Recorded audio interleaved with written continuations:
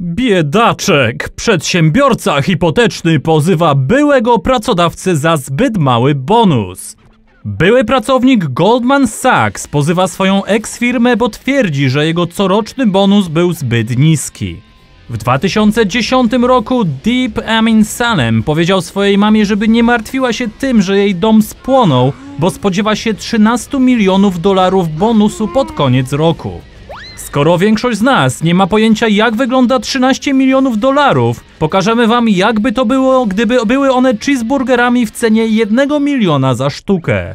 Więc Salem twierdzi, że pomógł firmie uzyskać ponad 7 miliardów dolarów prowizji w 2010 roku, to znaczy 7 tysięcy cheeseburgerów. Gdy Salem otrzymał bonus w wysokości 8 milionów był w szoku, bo spodziewał się 5 milionów więcej.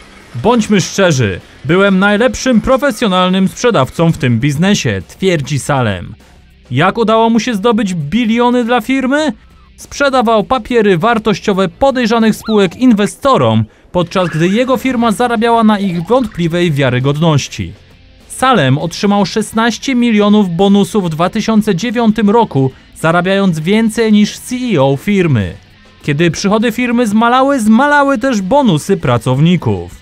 Więc co myśli jego były pracodawca o właśnie złożonej sprawie w sądzie? Mówi, że cała sprawa jest niedorzeczna i nie warta uwagi. Och, ty biedny dzieciaczku!